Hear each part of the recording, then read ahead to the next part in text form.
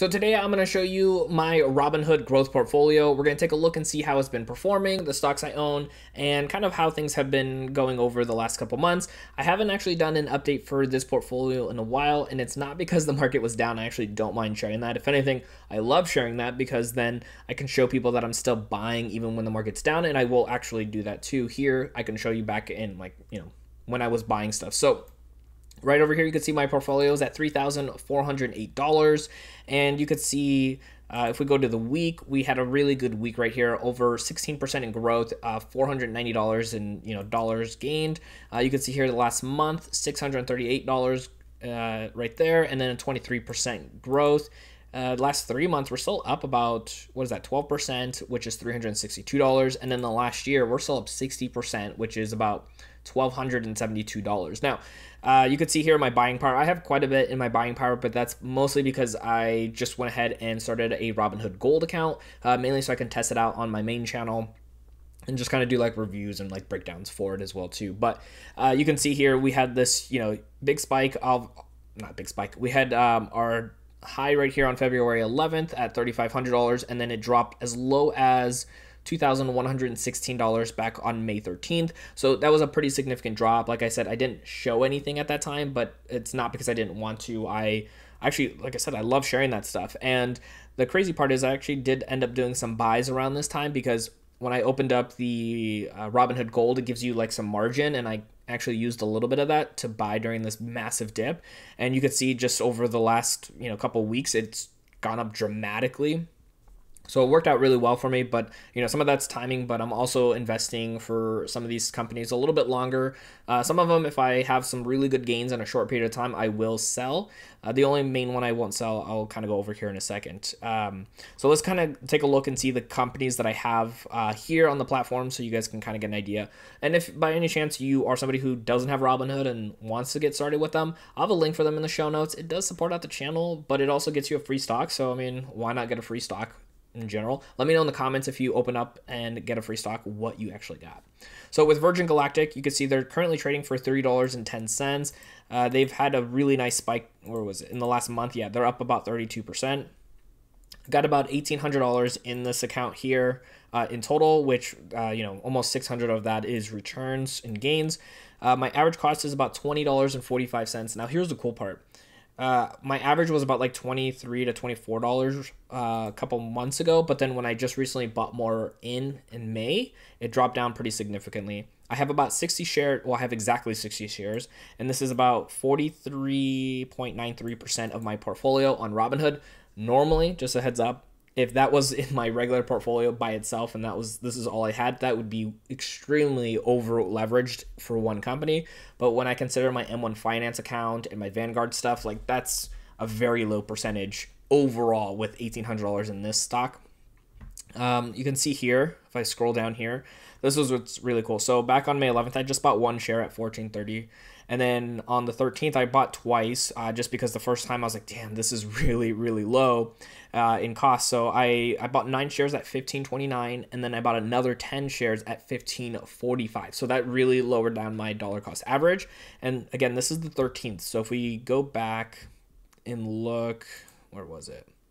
So its its lowest was on the 13th, and then it started going back up from the 14th and beyond. So you know that timing was very lucky in that regard. I wasn't thinking like, oh, this is the bottom. Like now I got to buy. I just I had the opportunity with a little bit of margin on Robinhood Gold, and I like this company and I wanted to own more shares.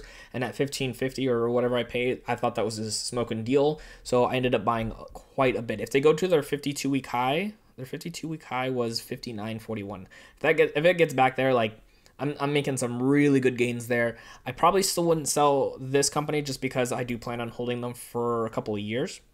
And then if we look, the next one right here is Social Capital. Now, Social Capital is actually, um, they kind of combined with SoFi, and I do like SoFi, so I wanted to kind of have some ownership in there. So this one I have, uh, you could see their current price is 2065 as I'm recording this. Uh, my market uh, value is $516, 17.62% gain so far, which is really nice. My average cost is about 17, uh, 1756, and then I own 25 shares And I did buy some on the dip as well too. So on the 13th, I bought three shares. So not a lot. If I bought more, it definitely would have helped drop my dollar cost average. Um, so that would have been nice if I ended up going that route. But nonetheless, it's still doing good. This one, if it if it jumped pretty dramatically in a short period of time, like I might sell it. I'm not like die hard into it, but we'll see how that goes. Uh, LDI right here. This is loanDepot. Uh, we have about $338 in them. Uh, we're up only about 1% currently. They had a pretty large dip for a while there. You can see uh, they had, let me see what their highs were 23 or so dollars. And then, yeah, back on the 13th, it dipped as low as 1210. I don't know if I got it at 1210 or not. Oh, I got it at 1240. So I got 10 shares at 1240. They did pay out a dividend. Uh, that was a special dividend, so it's not reoccurring. Uh, but that actually lowered my dollar cost average to 1677. Now I own a total of 20 shares on that one. This company, yeah, if, if this company jumps up pretty significantly over the next couple of weeks, I could sell this one. I uh, don't really plan on holding them very, very long. Uh, next one here, we got ARK.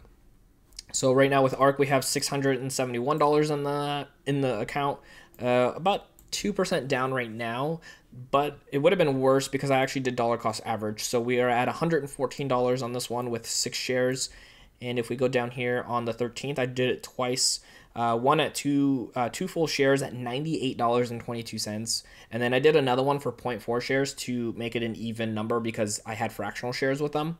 Uh, and that one was at 98.90, so a little bit more than the first uh, buy that day. But if I bought a lot more, I would have definitely dropped this dollar cost average significantly. But you know, you just don't know when the bottom is, so that's a big reason that I'm always trying to be a little cautious. But nonetheless, you know, this number would be much lower if I didn't dollar cost average at that point. Um, and then if we go next up is going to be Tesla. I haven't really done anything with this Tesla stock on this platform because I have bought more of it on M1 Finance. So I have about, I don't know how many shares I have on M1 Finance, but I have definitely more than I think three shares. But uh, overall, you can see here, so the market value is 656. We're up about 130% on this right here. Our uh, average cost is $270, and we own point or 1.05 shares on that one. Um, I didn't. I don't think I bought anything on the big dip. No, I didn't. So you can see the last time I purchased anything was March 5th. I put a little bit here and there, but like I said, I do most of my Tesla purchase on M1 Finance, which I do have here on the channel. You guys can watch those videos as well.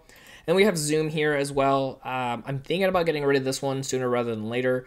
Uh, we have a total market value of 121 bucks. We're down about 10%. This was pretty significant a couple weeks ago with the with the big drops uh, back here, like on May 13th. It was down significantly, so we were down pretty heavy on this one. Uh, my average cost is 368 and it's currently 332, so we're, we're very close to breaking even. Um, and we own 0.365 shares, so we barely, we don't even own a full share of this. To be honest, I don't even know why I got really into it, but uh, I did buy during that big dip. Let's see, where it was it? So uh, the 13th, uh, we bought some at 278 bought a little bit there, and then we bought another fifteen dollars on that same day at two eighty twenty six. So yeah, we uh, that day I ended up buying once and buying twice with pretty much every single stock that I had. So I, I brought this average cost down significantly, which now obviously I'm only down ten percent, thirteen dollars, not a big deal. I'm curious if I should just get rid of this now or if I should wait till I break even. You guys can let me know in the comments what you would do in my position. I'm thinking maybe holding off just a little bit longer um, and then getting the, you know, that break even at least and then using that money to invest in other companies or if I sell now, I can use those uh, funds to maybe invest in some of these other ones. But at least I bought during that dip, which really helps out because then now my dollar cost average is way lower than it was at one point. I think it was up to like $400 per share on there. So as I mentioned earlier, I do actually have other portfolios that you can check out, which I'll link up right over here so you can see how those are doing and how they're performing and you can keep on learning with investing. My name is Denis and I'll see you in the next video.